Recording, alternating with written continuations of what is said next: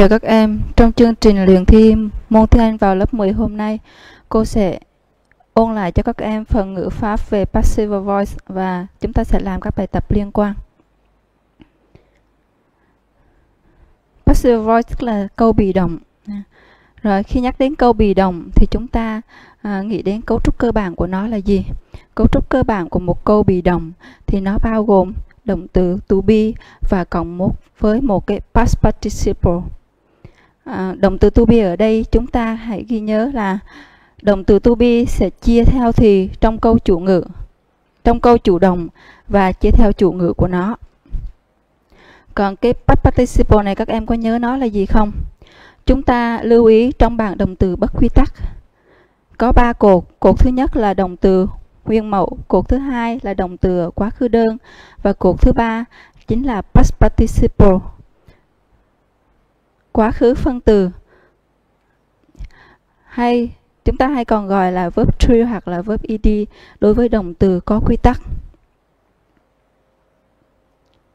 Rồi các em hãy ghi nhớ nha, cấu trúc cơ bản của cái câu bị động này chúng ta phải có be và verb true hoặc là verb ed.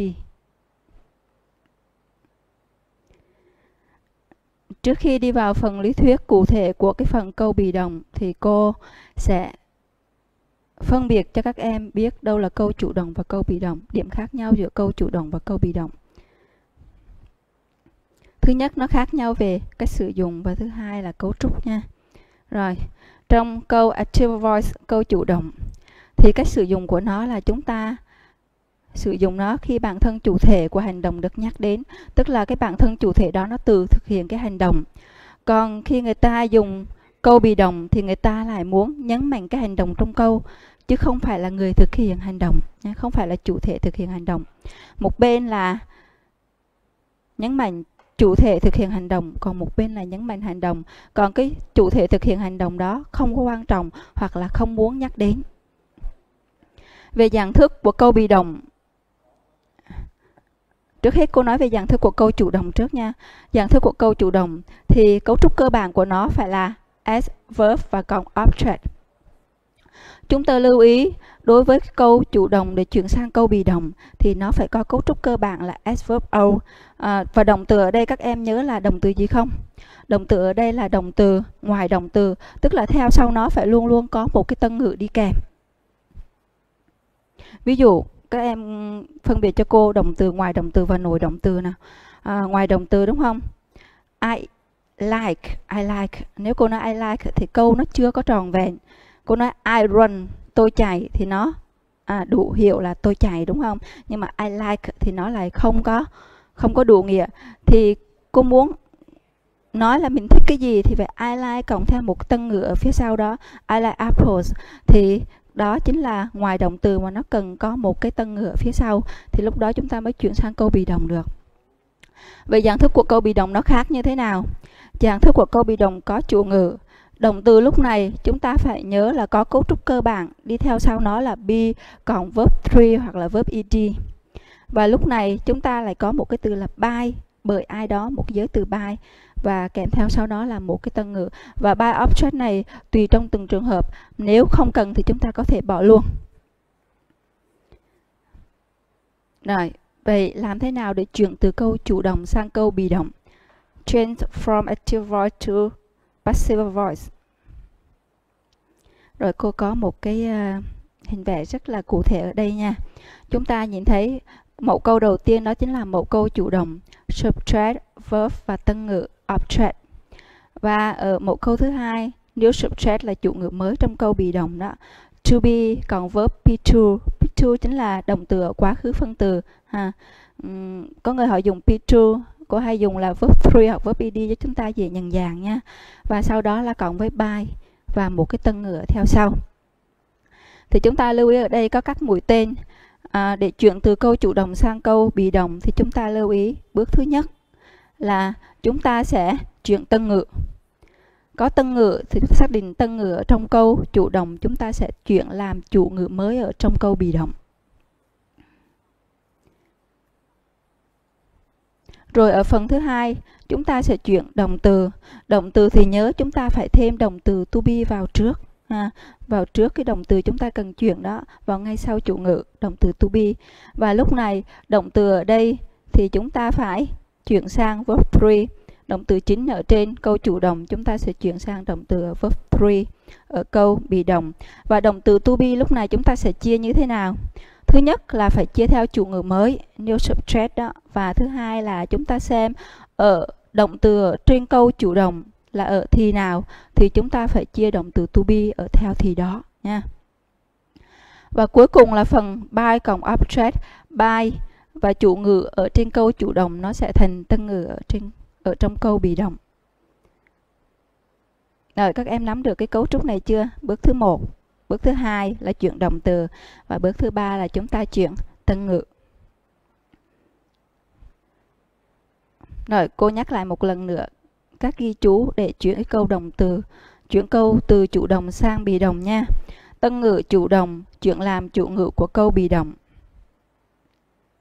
Động từ chủ động động từ trong câu chủ động sẽ chuyển thành be cộng verb tree và verb ed lúc đó, be chúng ta sẽ chia theo thì thì trong câu chủ động nha thì trong câu chủ động và chủ ngữ của câu bị động chủ ngữ mới đó.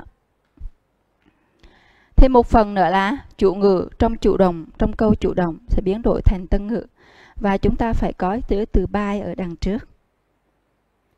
Với cái phần chủ ngữ này thì cô có một lưu ý là nếu chủ ngữ trong câu chủ động là các từ như là they, people, everyone, someone hoặc là anyone thì khi chuyển sang câu bị động chúng ta hoàn toàn có thể lược bỏ đi, không cần thiết. Rồi các em đã nắm rõ cái phần lý thuyết này chưa? Cấu trúc câu bị động nha. Cô sẽ cho ví dụ cụ thể.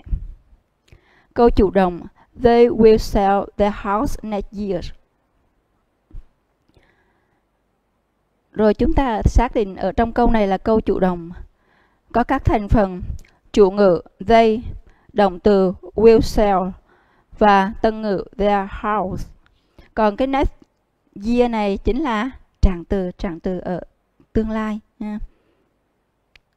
Rồi về câu chủ động, câu bị động chúng ta sẽ viết lại như thế nào? Their house will be sold by them next year. Lúc này chúng ta thấy tân ngữ their house trong câu chủ động chúng ta chuyển thành chủ ngữ their house trong câu bị động. Và bước thứ hai, chúng ta thấy ở đây có will, will sell thì chúng ta sẽ chuyển thành will be ha, có động có từ be động từ be vào nha. Còn cái chữ sell ở đây chúng ta sẽ chuyển thành cột thứ ba Cột thứ ba của sell trong bảng động từ bất quy tắc đó chính là sold. Và lúc này they, hmm, đây chúng ta có thể chuyển thành tân ngữ them, they, them. Ha. By them hoặc là cái phần by them này chúng ta có thể bỏ đi. Còn cái phần tràng từ chỉ thời gian thì chúng ta viết thêm vào để hoàn thành câu nha, không được bỏ đi. Rồi, đó là ví dụ về câu chủ động và câu bị động. Đó là với cái câu mà câu chủ động có một tân ngữ. Còn đối với câu chủ động mà có hai tân ngữ thì nó thể như thế nào? Cấu trúc của câu chủ động có hai tân ngữ là chủ ngữ cộng động từ. Sau đó cộng o, I và OG. OI đó chính là indirect object, đó là tân ngữ gián tiếp. Tức là tân ngữ này không trực tiếp chịu tác động của động từ. Còn direct object tân ngữ trực tiếp là trực tiếp chịu tác động của động từ. Hai tân cử này khi chuyển sang câu bị động à, nó có thể chuyển sang làm chủ ngữ của câu bị động. Nhưng mà khi chuyển thì trong hai trường hợp này nó có sự thay đổi nha. Rồi về nó sẽ thay đổi như thế nào? Câu bị động lúc này nó sẽ có hai trường hợp. Trường hợp thứ nhất là ta sẽ lấy tân ngữ gián tiếp indirect object đã lên làm chủ ngữ trong câu bị động. Lúc này indirect object nó trở thành chủ ngữ rồi thì chúng ta vẫn viết Cấu trúc cơ bản của câu bị động là be cộng verb tree verb ed. Và lúc này, tại vì tân ngữ trực tiếp là nó chịu trực tiếp qua hành động nên là nó sẽ đi ngay theo sau động từ. Direct object đi theo uh, sau của động từ. Còn trường hợp thứ hai nếu mà chúng ta lấy tân ngữ trực tiếp lên làm chủ ngữ trong câu bị động thì nó có sự thay đổi. Lúc này tân ngữ trực tiếp nó thành chủ ngữ và cấu trúc vẫn là be cộng verb 3 verb ed nhưng mà lúc này, tại vì còn tân ngữ gián tiếp mà động từ nó không có tác động trực tiếp lên tân ngữ gián tiếp, nên ở đây chúng ta cần có một giới từ trước tân ngữ gián tiếp. Và giới từ nó thay đổi tùy theo động từ nha. Chúng ta làm bài tập nhiều và học nhớ các cái động từ đi kèm giới từ thì chúng ta sẽ nhớ và làm được cái phần bài tập này.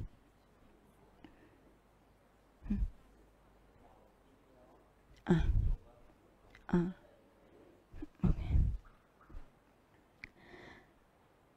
Rồi cô sẽ cho ví dụ của hai trường hợp này nha. Rồi câu chủ động. They gave me an apple yesterday. À, ở đây chúng ta xác định à, thành phần câu nha. À, thành phần câu ở đây sẽ có là đây là chủ ngữ. Gave nó là động từ. Và industrial object là me. Và industrial object là an apple. Rồi ở đây là câu chủ động có hai tân ngữ. Rồi bắt đầu cô sẽ chuyển uh, tân ngữ gián tiếp trước, tân ngữ gián tiếp trước nha. Chuyển sang câu bị động tân ngữ gián tiếp thì chúng ta lại có cấu trúc là I was given an apple yesterday. Vậy chúng ta chuyển như thế nào? Tân ngữ gián tiếp thành chủ ngữ của câu bị động.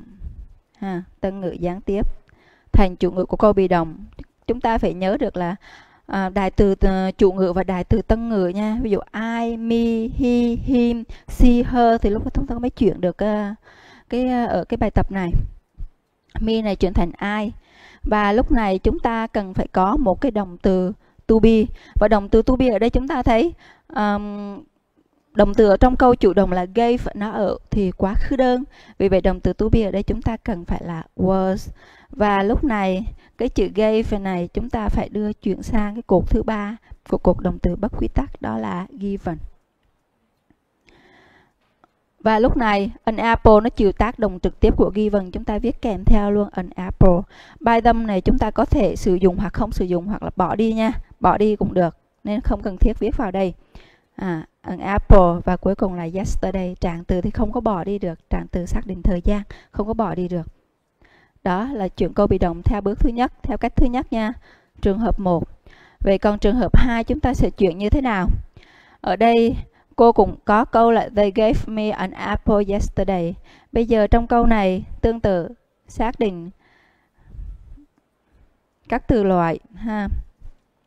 Trong cấu trúc câu, bây giờ cô sẽ chuyển ấn apple ra trước, ấn apple tân ngữ trực tiếp ra trước thì chúng ta sẽ có câu như thế nào? An apple was given to me yesterday. Rồi, và chúng ta sẽ chuyển. Bước thứ nhất, an apple đưa lên làm chủ ngữ. Lúc này cũng tương tự nha. À, động từ ở đây, an apple nó cũng số ít thôi, dùng was given. Was given, gave chuyển thành given. Nhưng mà lúc này chúng ta thấy cái từ me này chúng ta không đi trực tiếp ngay sau chữ given được, mà chúng ta cần phải có một giới từ là given to me, given to me yesterday, ha. Give thì là give to somebody không? hoặc là có từ buy thì chúng ta có thể là buy for somebody, hoặc là từ send send thì là send to somebody, nha. Chúng ta nhớ giới từ này nha. Giới từ này chúng ta thường gặp thì chúng ta nhớ là giới từ đi kèm với động từ, nó sẽ như thế nào thì chúng ta sẽ dùng. Rồi. Và đây này cô cũng bỏ luôn ha, chủ ngữ này cô không có chuyển thành bài tâm nữa. Và chúng ta thêm trạng từ yesterday vào rồi, đó là hai cái dàn câu um, bị động câu bị động với một á, tân ngữ à, câu chủ động với một tân ngữ chuyển sang câu bị động và câu chủ động với hai tân ngữ chuyển sang câu bị động. Còn bây giờ chúng ta thấy uh, cái phần quan trọng là chúng ta phải nhận biết được thì trong câu bị động để chuyển như thế nào nha. Thì thì cho đến học kỳ 1 của lớp 9 thì chúng ta được học được bao nhiêu thì rồi. Thì chúng ta thấy nhắc về thì thì chúng ta phải nhớ đến cái mốc thời gian. Chúng ta có ba mốc thời gian là hiện tại, quá khứ và tương lai. Ở mỗi mốc thời gian thì chúng ta có thì đơn, thì tiếp diễn, thì hoàn thành, thì hoàn thành tiếp diễn, đúng không? Nhưng mà cô chỉ gói gọn trong những cái phần thì mà chúng ta đã học nha. Ở đây bắt đầu, cấu trúc cơ bản của một cái thì đơn thì đơn. Ở câu bị động thì chúng ta sẽ có be cộng verb pre verb ed vậy ba mốc thời gian của chúng ta là gì? Past, quá khứ, present, hiện tại và future là tương lai. Thì chúng ta lưu ý, cái phần verb tree verb ed ở ba cái mốc thời gian này nó giống nhau, nó chỉ khác nhau ở chỗ là nếu ở quá khứ thì động từ be này nó sẽ thay đổi. Và nó sẽ thay đổi như thế nào nếu là ở quá khứ? Past ở quá khứ, thì chúng ta nhớ nếu ở quá khứ thì động từ be sẽ dùng hai từ nào? Was và were cô sẽ cho một câu ví dụ. The book was written in 2010 Đó, was written in 2010 2010 là một cái điểm thời gian ở quá khứ rồi nên chúng ta sẽ dùng ở đây là cái động từ to be ở quá khứ. Rồi qua cái phần hiện tại present thì động từ to be ở present present chúng ta sẽ chia là am is are cái này mình thuộc lầu luôn nha. Am are. Vì vậy câu ở đây chúng ta sẽ có là the book is written by Kim. À, cuốn sách này được viết bởi cô Kim ha. Còn tương lai thì cũng tương tự thôi cấu trúc của tương lai như thế nào chúng ta sẽ chia be ở tương lai như thế đó. Tương lai thì chúng ta gồm will và cộng với be nguyên mẫu. The book will be written by Kim. Thì ở cái thì đơn này đối với ba mốc thời gian chúng ta nhớ verb tree verb ed nói, đều phải có. Nó chỉ thay đổi là ở động từ to be. Was were cho quá khứ, am, is, are cho hiện tại và will be cho tương lai. Rồi, qua một cái nữa là thì tiếp diễn nhớ cấu trúc cơ bản của thì tiếp diễn ở đây phải là có động từ verb in ha. Be cộng be in lúc này là verb in nó chuyển thành be in đó. và ở đây sau be in phải có verb 3 và verb ed. Be be in verb 3 verb ed. Cô cũng phân tích theo từng cái là past và present và future. Chúng ta lưu ý ở đây, cái thì tương lai tiếp diễn, nó không có dùng, không có phổ biến cho cái câu bị động nên chúng ta bỏ đi, không có dùng nha. Ở đây, chúng ta thấy cấu trúc chung ở cái thì tiếp diễn là chúng ta sẽ dùng being còn verb 3 verb ed nó cũng chỉ khác nhau ở chỗ là động từ to be. Vì động từ to be ở quá khứ thì là tương tự như đơn thôi, was, were, và ở hiện tại là am, is, are. Và cô có cho hai ví dụ đi kèm. At this time last year, the house were being built, ha cái nhà này đang được xây dựng tại cái thời điểm này vào năm ngoái thì đang được xây dựng. Còn ở câu này chúng ta có cái trạng giới từ chỉ thời gian là at the moment. Vì vậy ở đây chúng ta sẽ dùng là is being built. Nó chỉ khác nhau ở động từ to be thôi, nha, động từ to be. Quá khứ thì dùng quá khứ, mà hiện tại thì dùng hiện tại. Còn là cái thành phần sau thì nó giống nhau.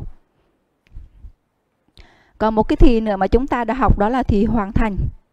Hoàn thành thì ở đây cấu trúc của nó là have been còn verb 3 verb ed. Đây là cấu trúc trong câu bị động nha.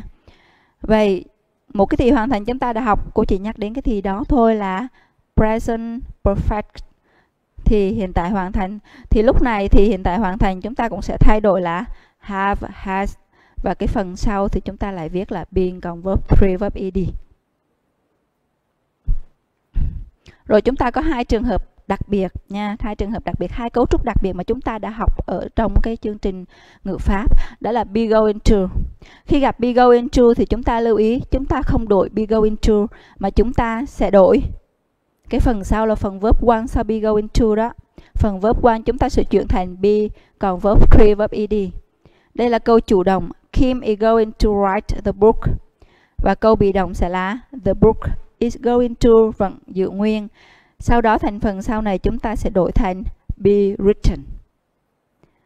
Một cấu trúc nữa là cấu trúc với modal verb động từ khuyết. Can cook còn verb one thì nó cũng tương tự như be going to nha. Chúng ta vẫn phải giữ can cook lại. Sau đó từ verb one ở cái câu chủ động chúng ta sẽ chuyển thành be còn verb three, verb ed ở câu bị động. Và cô cũng có cái phần, ví dụ kèm theo, Kim can write the book the book can be written by Kim rồi cô vừa uh, đi qua cái phần lý thuyết của cái câu chủ động và câu bị động đây là cái bảng tổng hợp các cách chuyển đổi hình thức động từ của một số thì. Chúng ta nhớ nha, chúng ta ghi nhớ cái bảng này vừa có chủ động vừa có bị động. Nếu chúng ta làm bài tập chưa quen thì chúng ta có thể dựa theo cái bảng này. Khi làm thì chúng ta phải xác định động từ trong câu chủ động là động từ ở thì nào thì lúc đó chúng ta sẽ chuyển sang câu bị động có cái phần tương ứng ở đây. đây là ba thì hiện tại đơn, hiện tại tiếp diễn, hiện tại hoàn thành. Tiếp theo là quá khứ đơn, quá khứ tiếp diễn và phần tương lai đơn. Phần nữa là be going to và modal verbs. Đây là cái phần uh, ôn lại ha, cái phần uh, tóm tắt lại cho chúng ta dễ theo dõi và chúng ta nhớ là phải nắm vững những cái cấu trúc này khi làm vào một cái bài tập ờ, về cái phần ờ, bị động. Um, cho các em bài tập hôm à, bài học hôm nay sẽ tạm dừng ở đây. Cô sẽ bắt đầu cái phần các bài tập liên quan đến phần câu bị động trong uh, 10 phút nữa. Xin chào các em.